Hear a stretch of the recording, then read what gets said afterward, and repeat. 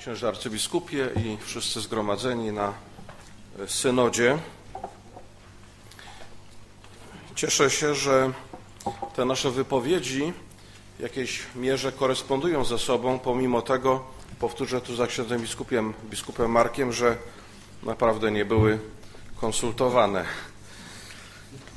Prezentację dokumentu przygotowanego przez Komisję do Spraw Powołań i Formacji do Prezbiteratu chciałbym rozpocząć od krótkiego przedstawienia tych, którzy tę komisję tworzyli i najbardziej się natrudzili przy powstaniu tego dokumentu.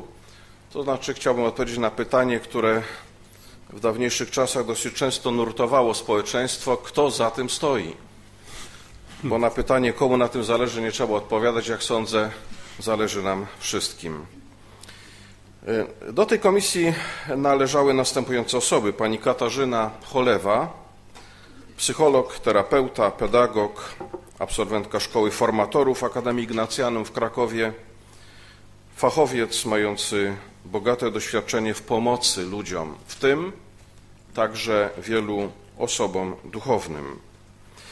Ksiądz Jerzy Paliński, proboszcz parafii świętej Anny w Sierklanach, poprzedni rektor naszego seminarium, liturgista.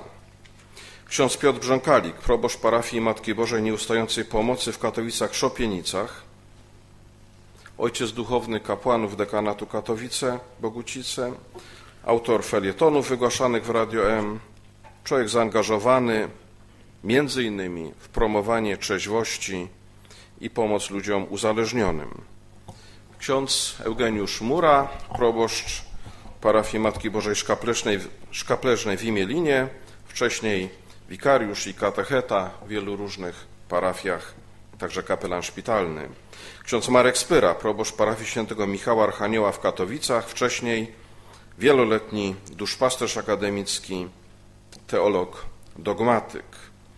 Ksiądz Bernard Rak, proboszcz parafii Najświętszego Serca Pana Jezusa w Rogowie, a wcześniej formator, prefekt w naszym seminarium, teolog moralista.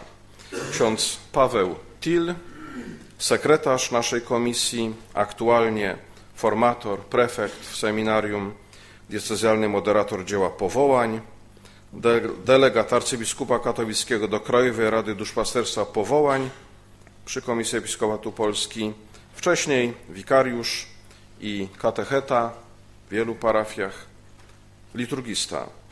I ja, przewodniczący tej komisji, aktualnie rektor Śląskiego Seminarium, wcześniej wykładowca na Wydziale Teologicznym Uniwersytetu Śląskiego z wykształcenia pozateologicznego logik. W pracach komisji bardzo wydatnie pomagał również ksiądz Ryszard Skowronek, należący do grona konsultorów naszej komisji, formator, prefekt w naszym śląskim seminarium, moderator okresu propedeutycznego, wcześniej wieloletni katecheta w zespole szkół urszulańskich w Rybniku, teolog, moralista. Oczywiście o każdej z tych osób można by jeszcze wiele powiedzieć, ale myślę, że dotknąłem tych najistotniejszych cech charakterystycznych, najistotniejszych w kontekście tworzenia naszego dokumentu. Myślę, że ważną taką cechą wspólną tych osób jest wprawdzie zróżnicowany, ale jednak znaczący już staż życia w Kościele i w świecie współczesnym. Mam nadzieję, że ten staż życia w Kościele i w świecie współczesnym znalazł swoje przełożenie na naszą zdolność, po pierwsze, sentire cum ecclesia, to znaczy czucia z Kościołem, współmyślenia z Kościołem. I z drugiej strony, po drugie, naszą zdolność odczytywania znaków czasu. W tym momencie chciałbym wszystkim serdecznie podziękować, publicznie podziękować za twórczą i ofiarną współpracę. A te słowa podziękowania kieruję także pod adresem tych wszystkich, licznych bardzo osób, które odpowiedziały na ankietę i przekazały swoje uwagi dotyczące przedmiotu zainteresowania naszej komisji. Dziękuję także w tym miejscu klerykom, którzy świadomie lub nieświadomie przyczynili się do powstania wielu pomysłów i także świadomie lub nieświadomie je weryfikowali i weryfikują. Dziękuję wreszcie tym wszystkim, którzy w naszej intencji się modlą. To znaczy modlą się w intencji synodu, ale także w intencji powołań do kapłaństwa i w intencji naszego seminarium. Patrząc z perspektywy czasu na pracę naszej komisji, stwierdzam, że można je adekwatnie scharakteryzować za pomocą jednego słowa klucza. Jest nim słowo pokora. Pozwolę sobie krótko wybór tego słowa w tym kontekście uzasadnić. Myśląc o powołaniu Bożym, w naszym przypadku, powołaniu do kapłaństwa, jak to popularnie mówimy, myślimy o wieloaspektowej tajemnicy spotkania. Spotkania tego, który przywołuje do siebie tych, których sam chce przywołać. I tych, którzy do Niego przychodzą, ponieważ też chcą. Chcą odpowiedzieć na Jego wołanie. Jest to y, tajemnica, do której nie można się zbliżać inaczej, jak tylko z pokorą. Pokora płynie zatem e, ze świadomości subtelności i złożoności materii, z jaką się ma do czynienia. Ale płynie również ze szczerego uznania własnych ograniczeń, tego, że po prostu wielu rzeczy się nie wie. E, pokora pozwala ze spokojem uznać, że historia Kościoła, historia archidiecezji katowickiej, historia seminarium duchownego jako pewnej instytucji i historia tego konkretnego Wyższego Śląskiego Seminarium Duchownego w Katowicach nie zaczynają się od nas. Mamy tu do czynienia z historią odpowiednio ponad dwutysiącletnią, 90-letnią, 450-letnią i 91-letnią, bo nasze seminarium jest rok starsze niż diecezja. Dobrze rozumiana pokora, jak sądzę, pozwala także stwierdzić, że w wielu sprawach nie ma potrzeby odkrywania Ameryki po raz kolejny. Większość zagadnień dotyczących interesującego nas zakresu zostało już rozstrzygniętych. W przypisie numer 9 do naszego dokumentu wskazaliśmy najważniejsze, naszym zdaniem, dokumenty regulujące te kwestie, wydane od czasu Soboru Watykańskiego II i jest ich tam 11, czyli dwa razy więcej niż w poprzednim dokumencie. Y, dokument, y, który prezentujemy, który proponujemy, został podzielony na dwie zasadnicze części. Nie ma tego. Nie ma 11? W ogóle nie ma takiego przepisu. A w ogóle nie ma takiego przepisu? W dokumencie, którym ja dysponowałem? Jest. Jest. Drugi jest. A drugi, aha, to w tej numeracji, która miałem, był dziewiąty. Tak. Bo, to były dwa, bo tam były dwa dokumenty razem i była No ciągła numeracja może prawdopodobnie dlatego. między dokumentami. Przepraszam, więc w drugim przypisie koryguję. Tak? Mamy Też inny. tekst.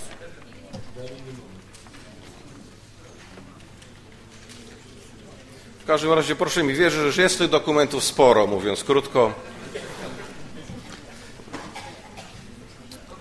Ten dokument, który proponujemy, został podzielony na dwie zasadnicze części dotyczące dwóch zagadnień sugerowanych w nazwie komisji, to znaczy powołania do prezbiteratu i troski o ich budzenie oraz formacji do prezbiteratu.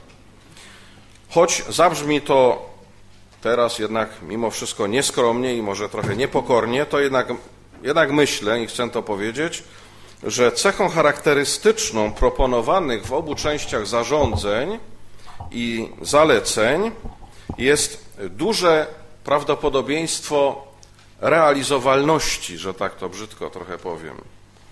Można wręcz stwierdzić, że w wielu przypadkach to prawdopodobieństwo jest równe jeden. Jest to konsekwencją tego, że staraliśmy się w naszym dokumencie wskazać, przypomnieć i w pewnym sensie wypromować to, co jest w naszym lokalnym kościele dobrą praktyką, co po prostu od dawna jest realizowane. Ale nie tylko dlatego. Również dlatego, że naszym celem było zaproponowanie tego, co wydaje nam się ważne, pożyteczne i skuteczne, niezbędne, ale co równocześnie, jak sądzimy, nie przekracza cienkiej granicy między tym, co rzeczywistość porządkuje po Bożemu, a tym, co pozostaje już tylko pobożnym życzeniem. Wreszcie mogę spokojnie, ale i teraz z powrotem z pokorą stwierdzić, że prawdopodobieństwo niektórych postulatów jest równe jeden, ponieważ już w trakcie trwania prac synodu po prostu udało się je wprowadzić. I spośród tych postulatów, które właśnie w trakcie trwania synodu udało się wprowadzić, chciałbym zwrócić uwagę na jeden. Mianowicie roczny okres propedeutyczny dla kandydatów zgłaszających się do seminarium. Jego zasadniczym celem jest, powiedziałbym tak, po pierwsze, to, aby kandydaci mogli poznać sami siebie i po drugie, aby dali się poznać a to wszystko w kontekście rozeznania, rozeznania powołania. A drugim celem jest przygotowanie ich gruntowne do podjęcia formacji w seminarium i studiów na Wydziale Teologicznym. Główny akcent pracy trakcie tego okresu propedeutycznego jest położony na wymiar ludzki. Dlaczego? Wśród młodych ludzi przychodzących obecnie do seminariów, celowo używam liczby mnogiej, bo nie dotyczy to tylko naszego seminarium, jest dostrzegalny ogromny deficyt w umiejętności budowania relacji. Deficyt wynikający przede wszystkim, nie tylko, ale przede wszystkim, jak sądzimy, z braku wsparcia rodziny. To oczywiście jest cała paleta różnych możliwości, powiedzmy od zagonienia rodziców po różne zjawiska patologiczne. Ten deficyt przejawia się na przykład uciekaniem w świat wirtualny, nieumiejętnością podjęcia rozmowy przeżywania emocji, konfrontowania swoich przeżyć. Należy zatem u kandydatów wypracować umiejętności przeżywania własnej emocjonalności, wglądu w siebie, dzielenia się przeżyciami oraz dostrzegania przeżyć u innych. Istotne jest również takie swoiste wyprowadzenie z podświadomości i odkrycie mechanizmu własnych reakcji. nauczenie się ich właściwego przeżywania. Efektem ma być doprowadzenie kandydata do dojrzałej decyzji wejścia lub nie na drogę właściwej formacji seminaryjnej. A ten element formacyjny przygotowujący do podjęcia studiów scharakteryzowałbym następująco. W trakcie tego okresu prowadzone są bardzo różnorodne zajęcia intelektualne. Ich celem jest przygotowanie do podjęcia studiów, a także wyrównanie różnic w wykształceniu humanistycznym, w tym także w wykształceniu religijnym. Stawiamy sobie jako cel nabycie lub rozwój umiejętności krytycznej pracy z tekstami, tekstami kultury polskiej i światowej oraz umiejętności tworzenia dłuższych wypowiedzi, zarówno ustnych, jak i pisemnych. Wreszcie, ponieważ widoczny jest wśród absolwentów szkół ponadgimnazjalnych brak znajomości lub umiejętności łączenia wiedzy z zakresu nauk przyrodniczych z prawdami wiary, stawiamy sobie za cel ukazanie w sposób popularny aktualnego stanu wiedzy na temat wybranych zjawisk z zakresu fizyki, kosmologii, biologii i wypracowanie umiejętności wiązania tej wiedzy e, z poznawanymi prawdami z zakresu filozofii i teologii. Moi drodzy, to oczywiście nie jest y, informacja y, wyczerpująca w dwóch znaczeniach. Znaczy, Nie obejmuje całości zagadnienia i mam nadzieję nie męczy Was. Dziękuję za uwagę.